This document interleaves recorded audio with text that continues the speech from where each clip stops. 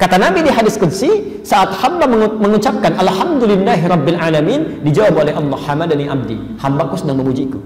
Wa idza qala al-abdu ar-rahmanir rahim, kalau hamba mengatakan ar-rahmanir rahim, dijawab oleh Allah, Asna alayya abdi, hambaku sedang menyanjungku. Wa idza qala al-abdu maliki yaumiddin, kalau hamba membaca dalam salatnya maliki yaumiddin, qala Allah azza wa jalla, dijawab oleh Allah, majjadani abdi, hambaku sedang mengagungkanku. Sekarang perhatikan rahasianya.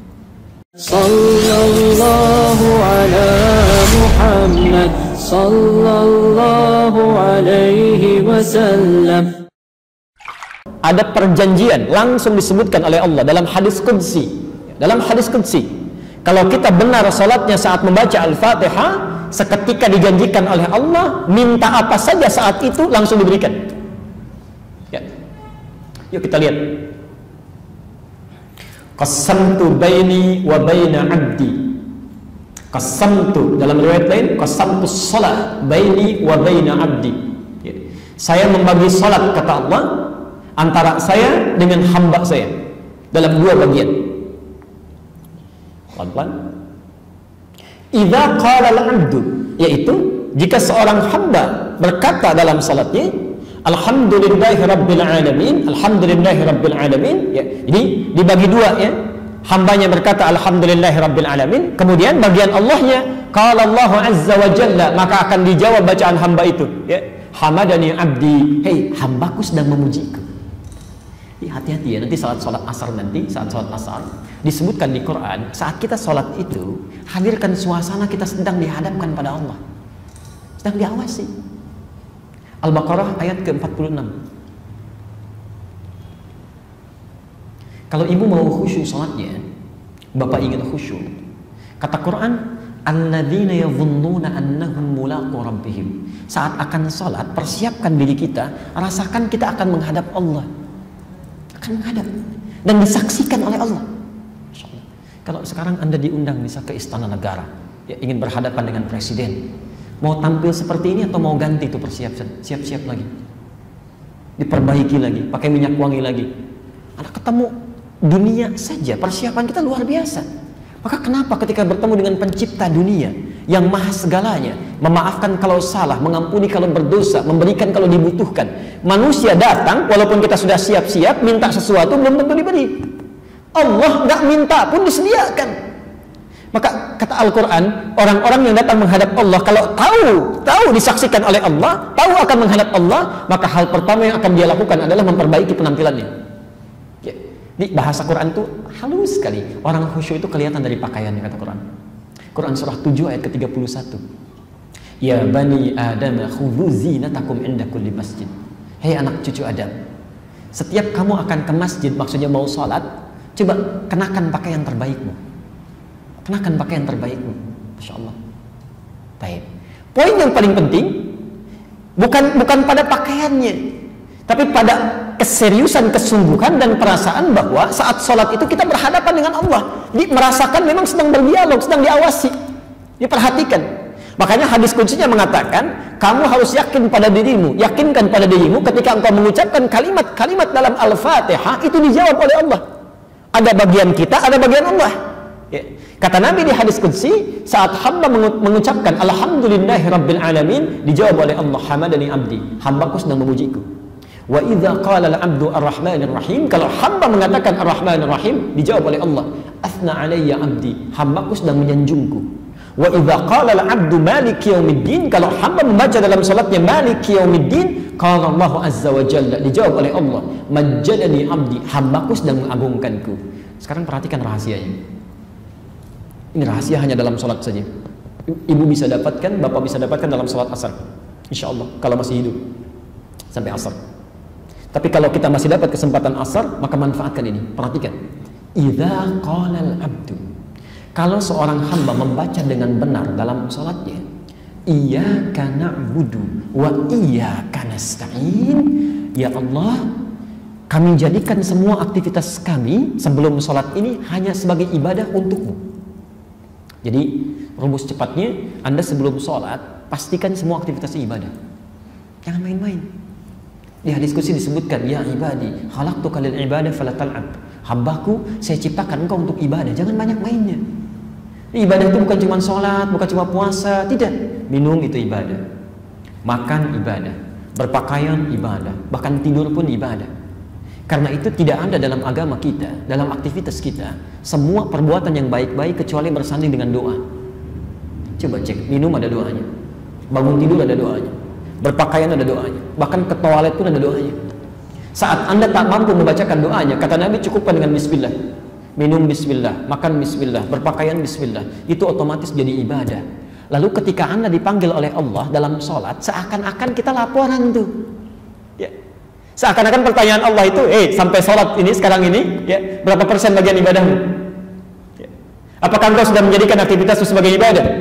Maka kita katakan dengan bangganya, iya karena na'budu. Ya Allah, kami sudah siapkan semua aktivitas itu sebagai ibadah hanya untukmu, bukan pada yang lain. Kalimat iyaka di sini untuk memberikan keseriusan, ikhtisas, kesungguhan. Karena ada orang mau sholat, motifnya bukan karena Allah, ya, tapi supaya diketahui oleh tetangganya. Ria kelihatan oleh temannya. Ada isyarat di Quran. Ya, Quran surah 4 ayat 142 itu. Yura'unan nasa. Ada orang-orang yang sholat itu karena ria, pengen dilihat oleh manusia. Wala yadhkurunallaha illa qalila. Dan kalaupun berzikir pada Allah nggak banyak sedikit. Orangnya sudah nggak ada, pergi. Ya. Astagfirullah, astagfirullah, astagfirullah. Ada orang di sampingnya, begitu sudah nggak ada, astagfirullah, dah pulang. Said. Ada yang begitu kata Quran. Ya. Salatnya sedikit, ya. Orang kejar dengan sunnahnya ini salat subuh pun setengah rakaat khusyuknya, selebihnya tidak. Ya. Allah. Yuk kita kembalikan dulu. Ketika anda mengucapkan iya karena budu, lalu setelah itu wa iya karena stain dan sekarang ya Allah kami punya persoalan. Kami hanya mohonkan kepadamu. Ya. Makanya rumus ya, coba catat ini ya dengan baik. Nanti praktekkan saat salat asar. Kata Al-Quran, sebetulnya saya mau bahas ini ketika membahas nanti iya karena abu iya karena stain. Tapi kita dahulukan dulu. Kata Al-Quran, setiap anda mau sholat, coba cek inventarisir persoalan apa yang dimiliki sebelum sholat. Dalilnya Al-Baqarah 45. Wasta'inu bis sabri wassalah dan minta tolonglah kepada Allah mungkin nggak minta tolong kalau nggak ada persoalan tidak ada Nih, rinci dulu persoalannya apa masalahnya ya. Catat persoalan anda. Saya sangat punya keyakinan setiap orang yang hidup pasti punya masalah. Ya. ini dari zuhur ke asar saja kurang lebih sudah dua jam ini ya. Nggak ada di antara kita yang tidak punya masalah itu. Saya, saya sangat yakin. Tidak ada satupun yang bahkan duduk di sini yang tidak punya masalah. Kayaknya tenang-tenang duduknya itu ya. Belum tentu nggak punya masalah itu. Sebelum ke sini mungkin di rumah ada persoalan di kantor di jalan bahkan di mana pun catat rinci. Lalu saat anda mau sholat kata Allah mintakan solusinya bis sabri sabri itu jalani dulu dengan sabar jadi kalau ada masalah terima dulu jangan mengeluh itu rumus Quran terima aja ya. mengeluh tidak menyelesaikan persoalan tidak menyelesaikan persoalan ya. Masya Allah uh, saya runtut dulu ayatnya ya supaya supaya tajam pemahaman kita. Al-Baqarah 286. La yukallifullahu nafsan. Allah tidak mungkin memberikan tugas ujian kecuali kita mampu mengatasinya.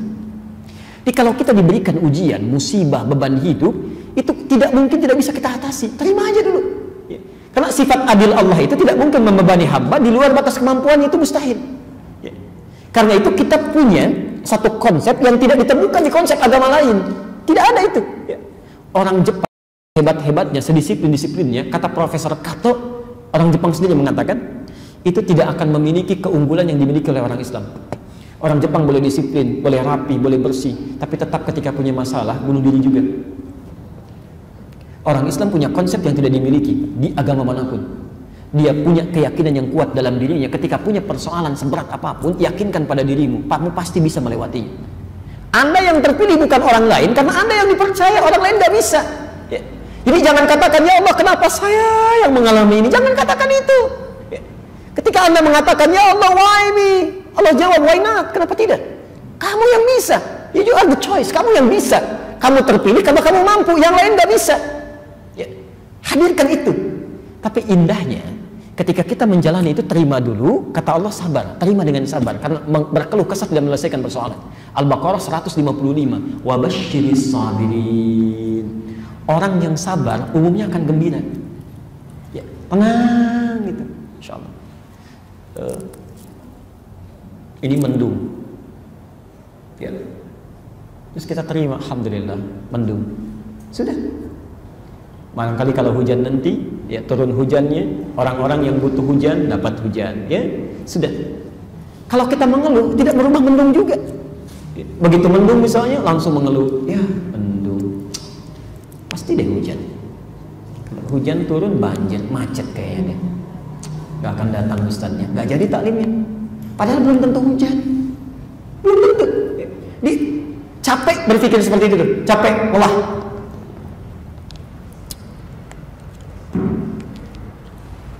ini ada wajan. Di bawahnya saya panaskan dengan api. Maaf ya. Kemudian disimpan cacing misalnya di sini di wajan ini. Dipanaskan dengan api bawahnya cacingnya ke mana? Ya kalau kita simpan cacing misal di atas wajan maaf. Kemudian wajannya dipanaskan tuh. Ya. cacingnya bergerak ke mana? Ah, bergerak ya. Dia bergerak kadang ke samping ke sini ya dan sebagainya. Kenapa? Tuh sudah keliru. Bukan panas bukan. Karena cacing tidak bisa mengeluh. Dia gak berkata, aduh panas, aduh sakit, aduh panas, aduh sakit. Kalau semua banyak aduhnya, kapan bergeraknya? Sifat manusia itu kata Quran itu pandai mengaduh. Ini belum apa-apa sudah ya Allah, sudah aduh ya Allah, coba dulu, sabar dulu, selesaikan. Selesaikan. Ya. Kalau sudah seperti itu, nanti Allah tunggu, kan ada waktunya menghadap Allah. Ya diberikan ujian jam 1 ya, selesaikan dulu dengan ikhtiar bukan kalau berikan ilmu berikan tenaga berikan kekuatan nanti kalau persoalan itu belum tuntas menghadap sampai ke asar bawa sampaikan pada Allah wassalah dalam sholat kita mintakan solusinya cara meminta kita disebut dengan nasta'in perintahnya wasta'inu ya permohonannya iya karena budu wa iya kan nasta'in perhatikan jawaban Allah Hadza baini wa baina abdi. Ini rahasianya. Inilah perjanjian, komitmen antara aku dengan hambaku. Wali abdi, kalau hambaku benar ibadahnya, menjadikan semua aktivitas sebelum sholat sebagai ibadah, masalah. Apa pun yang kamu minta sekarang, aku akan kabulkan. Apa pun yang diminta sekarang, aku akan kabulkan. Ini setiap sholat, kalau Anda benar bacaan Al-Fatihahnya, paham isinya, dan menjadikan semua aktivitas syaratnya sebelum sholat sebagai ibadah, Anda jaga ibadahnya tuh. Jauhi maksiat, tingkatkan ibadah, tingkatkan ketaatan. Itu ditunggu oleh Allah. Hambaku punya masalah apa? Saya mau selesaikan. Nanti setelah membahas lebih dalam, kita akan bahas. Ternyata Allah mengajarkan satu kalimat nanti yang kalau kita baca akan diberikan semua yang kita butuhkan itu. Sebab manusia itu kalau minta satu nggak akan selesai itu Coba kalau ditawarkan minta apa saja dikasih, mau minta apa? Tuh, saking banyaknya nggak bisa jawab kan. pengen ini, pengen itu, pengen ini, pengen itu ya. Nanti kita akan pelajari satu kalimat yang kalau dibacakan semua diberikan.